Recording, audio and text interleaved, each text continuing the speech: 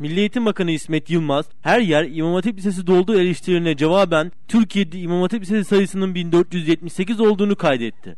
Hep diyorlar her yer İmam Hatip'le doldu. Doğru değil. Onu çok net söyleyeyim. İmam Hatip Lisesi sayısı 1478, öğrenci sayısı 524 bin. Anadolu Lisesi 1 milyon 365 bin. Meslek Lisesi 1 milyon 398 bin. İmam Hatip Lisesi 524 bin. E bu rakamlar yüzde 12. Allah için yüzde 42, yüzde 43 meslek lisesini görme. Yüzde 12 her yerde İmam Hatip açtınız de. Vatandaş talep ederse açacağız da ama doğruyu söylerseniz biz de daha memnun oluruz yani.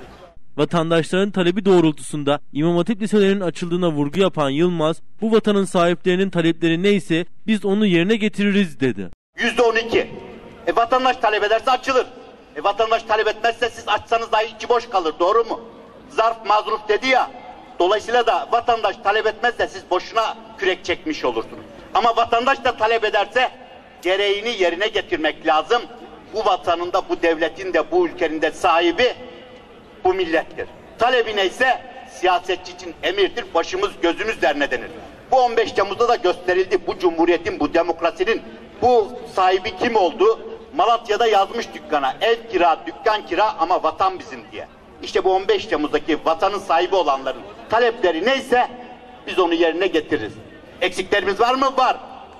Ancak yaptıklarımız var. Yaptıklarımızın da gerekçesi yine bu nitelikli eğitimden.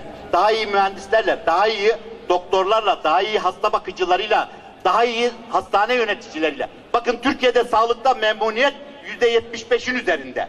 Ve kişi başına bin dolar harcıyoruz. Avrupa bu başarıyı, bu memnuniyeti sağlayamıyor. Yine de yüzde yetmiş gibi bir başarıyı, memnuniyeti sağladığında kişi başına dört bin dolar harcıyor. Siz bin dolar harcayaraktan diğer ülkenin dört bin dolar harcadığıyla onun da önüne geçebiliyorsanız bu yetişmiş insanlarınızın diğerinden daha iyi olduğunu gösterir.